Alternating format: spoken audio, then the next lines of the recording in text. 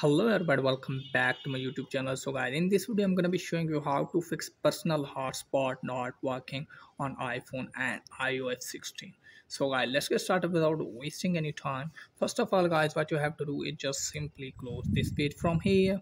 And i have four methods to solve this problem as well. So hopefully any of them fix your problem.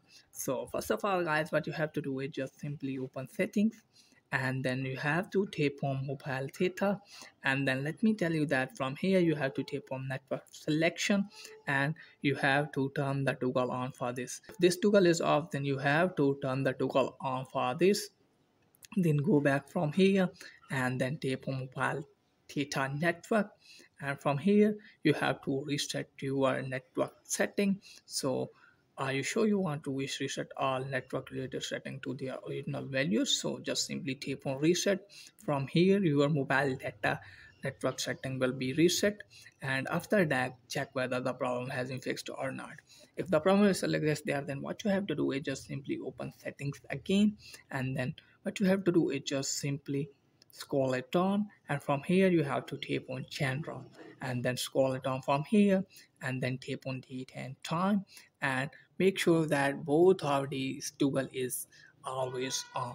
So after doing this check whether the problem has been fixed or not. If the problem is like this there then what you have to do is just simply open settings again and then scroll it down and then tap on general again and then scroll it down all the way. And you can see here transfer or reset iphone. So just simply tap on this and then tap on reset again. And from here you have to reset network setting. So just simply tap on this and you have to give your passcode. And from here tap on reset network setting. This will delete all network setting returning them to factory default.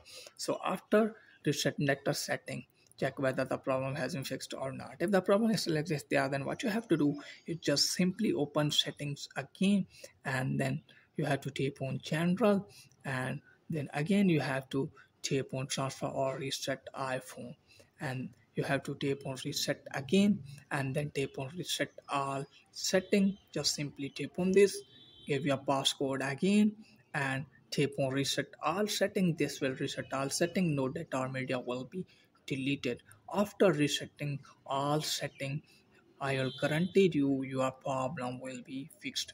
So this is guys for today video.